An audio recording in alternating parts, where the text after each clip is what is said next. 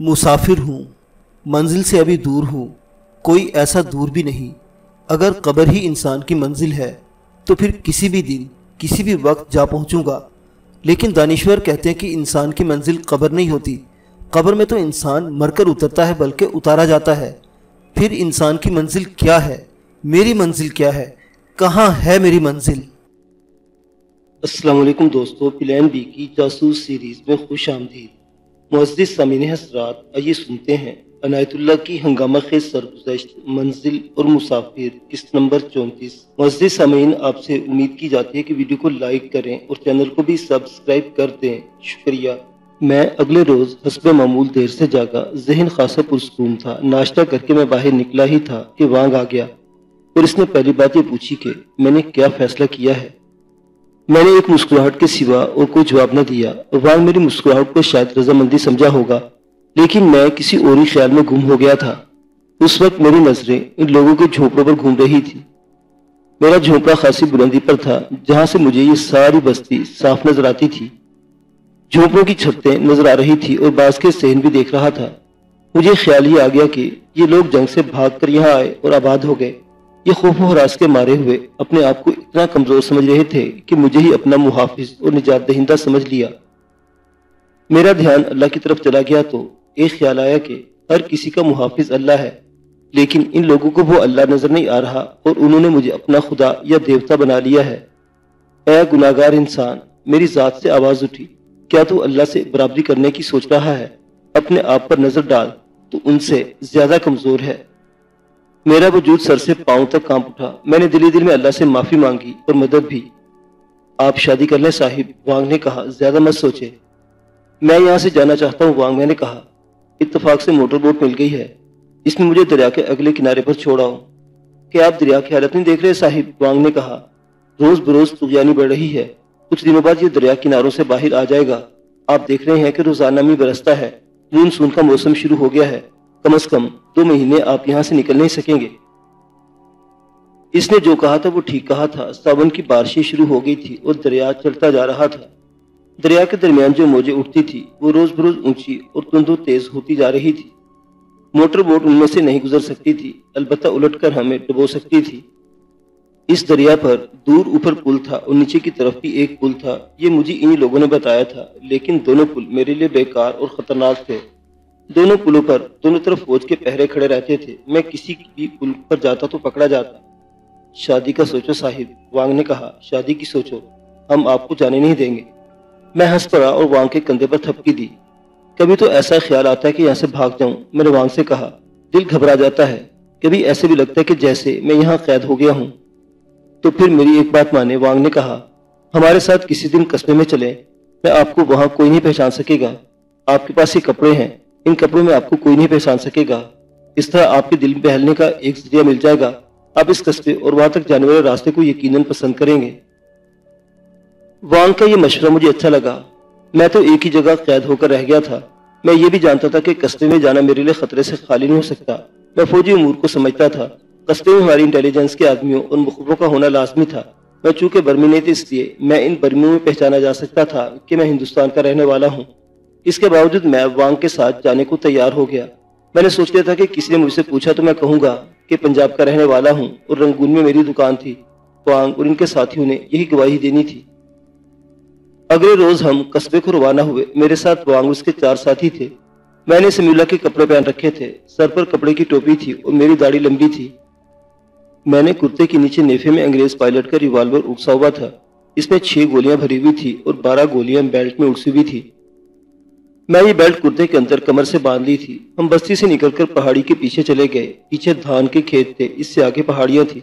वहाँ कोई बाकायदा रास्ता नहीं था। देखने को ये इलाका बहुत ही खूबसूरत और सेहत अफजा था। सब्जाजार के नीचे ज़मीन तो नज़र नहीं आती थी। पहाड़ियों के दामन में कहीं कहीं हरे सरकंडे खड़े थे, जो इतने घने थे कि इनमें से गुजरा नहीं जा सकता था। दरख्त तो बहुत ही ज़्यादा थे पहाड़ियों के ऊपर भी सब्जा और दरख्त थे। आसमान पर सावन के बादल मंडला रहे थे। सारा माहौल इतना दिलफरेब था कि इंसान अपने आप को दुख और दर्द और मसाइल से आज़ाद समझने लगता था। लेकिन जब ये ख्याल आता कि ये खिता जंग की जद में है तो दिल पर खौफ सा तारी हो जाता था। मुझे ख्याल आया कि जंग उस तरफ़ से आ गई तो तोपों की गोलाबारी और हवाई जहाजों की बमबारी इस खिते के हुसन को जलाकर राख कर देगी और फौजें इस सब्जाजार को पांवतले रोड डालेंगी। हम बोने दरख्तों की झुकी हुई शाखों में से रास्ता बनाते चले जा रहे थे। ये शाखें रात की बारिश के कतरों से बोझल थी। इन शाखों ने हमारे कपड़े भिगो दिए। आगे जो पहाड़ी थी, इसके दरमियान शिकाफ था। हम इस शिकाफ में से गुजरे तो आगे यक लख्त ज़मीन नीचे चली गई। ये एक उसी और खासा लंबा खड़ था, जिसमें बारिश का पानी किनारे तक भरा हुआ था। इसके दाएँ बाएँ से गुजरने की जरा सी भी जगह नहीं थी। इस खड के दरमियान एक लंबी चट्टान थी, जो एक किनारे से सामने वाले किनारे तक चली गई थी। यकीनी ऊपर से नुकीली नहीं थी, बल्कि चिपटी थी। एक आदमी इसके ऊपर चलकर आसानी से गुजर सकता था। मेरे साथी ने एक खड खुश्क मौसम में खुश्की की हालत में देखा था। वो बताते थे कि इतना गहरा है कि लंबा तिरंगा एक आदमी इसमें डूब सकता है। हम इस खड के दरमियान खड़ी चट्टान पर चलते गुजर गए। आगे पहाड़ी भी कटी हुई थी। हम इसमें से भी गुजरे। आगे जाकर हमें दाएँ तरफ़ मुड़ना पड़ा, क्योंकि आगे एक ऊँची टेकरी थी। जिसमें से गुजरने के लिए कोई रास्ता नहीं था। हम दाएँ तरफ़ चलते कुछ दूर पहुँच गए तो ये टेकरी खत्म हो गई और हम बाएँ घूमकर आगे चले गए। आगे इसी किस्म की ऊँची नीची कोई छोटी छोटी टेकरियाँ थी और नुकीली चट्टाने भी थीं। जो मालूम होता था जैसे इस इलाके में आने वाले हम पहले इंसान हैं। जंगल और घना हो गया था, झाड़ियाँ भी बहुत थी और घास खासी ऊँची थी।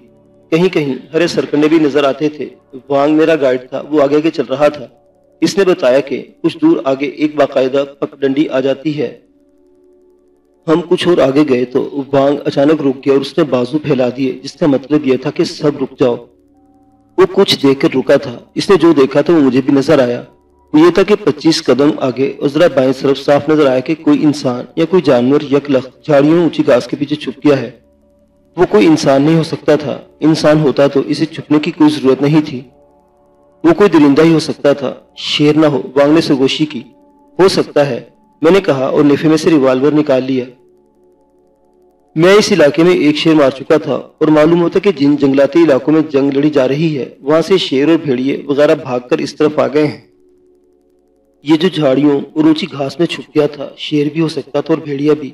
लेकिन मैंने सोचा कि यह कोई दरिंदा और कुछ जानवर होता तो वो कुछ न कुछ हरकत ज़रूर करता।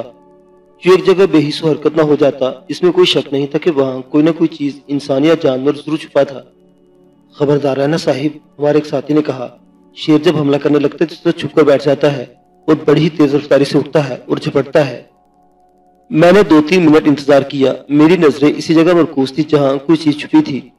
मैंने बाई तरफ़ देखा, करीब एक चट्टान थी, मैं दबे पाँव चट्टान तक गया, ऊपर चढ़ गया। बुलंदी से देखा तो साफ़ नज़र आया कि वो एक आदमी है, जिसका कमर ऊपर से और जिसम नंगा है। वो घुटनों के बल हो गया था और इसने ज़मीन के साथ, इसने सरजमीन के साथ लगा रखा था। मुझे ये भी साफ़ दिखाई दिया कि इसने नीकर पहन रखी थी, जो खाकी रंग की थी। मैं बड़ी तेज़ी से चट्टान से उतरा और अपने साथियों के करीब से गुजरकर आगे चला गया। मैं इस आदमी के और करीब जाने का खतरा मोल नहीं ले रहा था। इसके हाथ में भी रिवाल्वर या कोई हथियार हो सकता था। मेरी उंगली रिवाल्वर के ट्रैगर पर थी। मैंने ये सोच कर ये कोई बर्मी होगा वहाँ के इशारे से अपने पास बुलाया। उससे कहा कि, अपनी ज़ुबान में ऊँची आवाज़ से कहे कि, तुम जो कोई भी हो, सामने आ जाओ, वरना हम गोली चला देंगे। वांग ने बुलंद आवाज़ में अल्फाज कहे, लेकिन आगे घास में कोई हरकत ना हुई। मैं ये समझा कि आदमी बरमी ज़ुबान नहीं समझता। मैंने इसकी खाकी नीकर देखी थी। इससे मुझे ख्याल आया कि ये कोई मेरी तरह का महाज से भागा हुआ या भटका हुआ फौजी ही ना हो। तुम जो कोई भी उठकर खड़े हो जाओ। मैंने बुलंद आवाज़ से कहा, अगर तुम फ़ौरन ना उठे तो मैं तुम पर रिवाल्वर से फायर कर दूँगा। फायर ना करना। उधर से नहीब से आवाज़ सुनाई थी मैं उठने की कोशिश कर रहा हूँ। बहुत कमज़ोर हो गया हूँ। मैंने ट्रैगर में उंगली रखते हुए रिवाल्वर की नाली को इधर ही रखी और इंतज़ार करने लगा। पहले मुझे इसकी पीठ नज़र आई, फिर जरा सर ऊपर देखा, वो कमर तक घास और झाड़ी में छुपा हुआ था।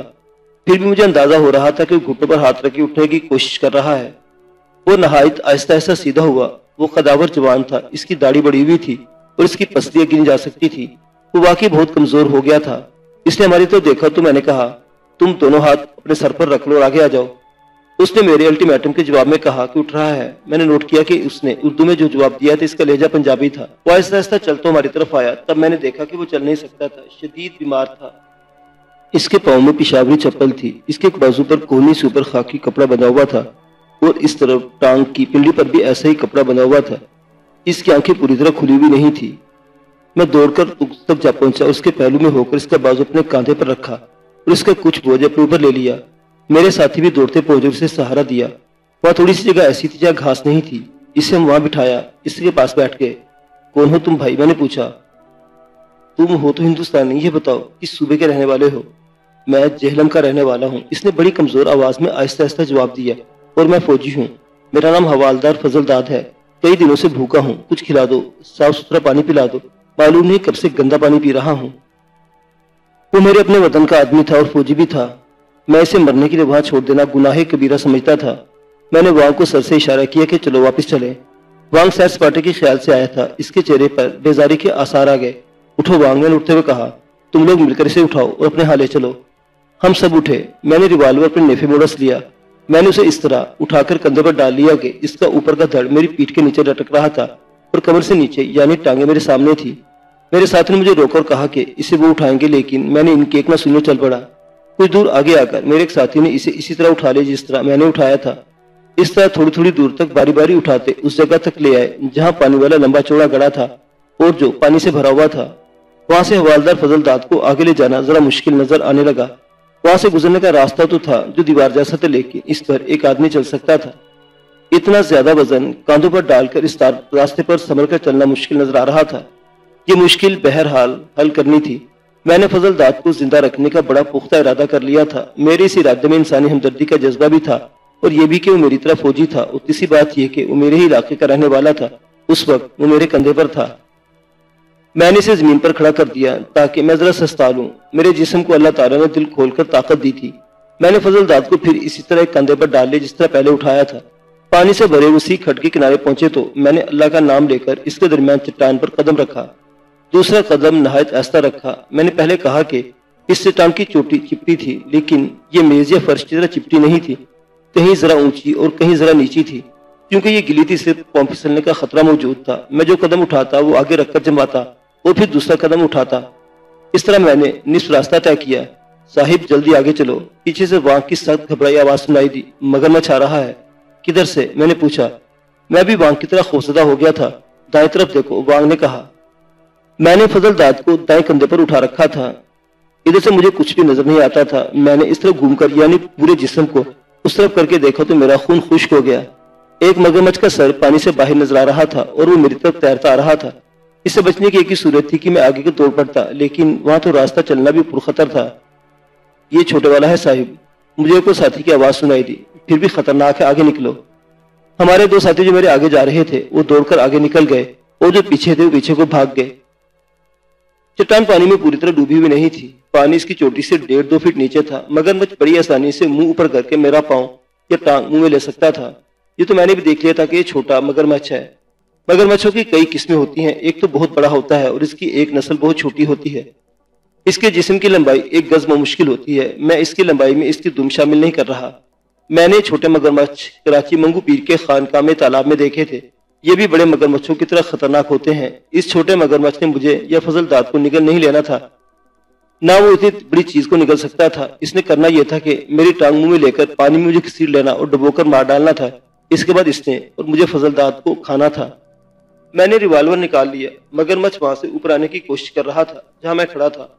इसके मोर मेरे पाँव के दरमियान मुश्किल डेढ़ दो फीट का फासला रह गया था। वो एक ही बार मुँह का झपट्टा मारकर मेरी टांग पकड़ सकता था। मैंने सुना था कि मगरमच्छ की पीठ पर गोली असर नहीं करती, क्योंकि इसकी खाल पत्थर जैसी सख्त होती है। इस मगरमच्छ ने एक बार मुँह खोलकर ऊपर आने की कोशिश की। मैंने इसके मुँह की तरफ़ रिवाल्वर करके ट्रैगर दबा दिया गोली इसके हलक में लगी। वो आधे से ज़्यादा पानी से ऊपर को उछला और पीछे गिरा। फिर ऐसा तड़पा के पानी उछल उछल कर मेरे ऊपर गिरता था। मैं वहाँ से हिला नहीं। इसके पेट में गोली मारो साहिब, मेरे एक साथी ने कहा। मगरमच्छ कभी पानी में डुबकी लगा जाता और कभी ज़ोर से ऊपर को उठता और फिर पानी में गिर पड़ता। मुझे ये खतरा महसूस हो रहा था कि मुझ पर आखिरी हमला कर देगा, जो बड़ा ही खतरनाक होगा। एक बार वो उल्टा हो गया और इसका पेट ऊपर को हुआ। मैंने इसके पेट में गोली उतार दी। जरा देर बाद इसका तड़पना बंद हो गया और वो मुझे पानी में तैरता नज़र आने लगा। वो मर चुका था। निशानी ये थी कि इसकी पीठ नीचे और पेट ऊपर था। मैं बड़े इतमान से आहिस्ता आहिस्ता खड अबूर कर गया। जरा आगे होकर मैंने फजल दाद को कांधे से उतार दिया। पानी को देखा तो सुर्ख हो रहा था। मेरे लिए इतनी मुसीबत ना उठाओ दोस्त।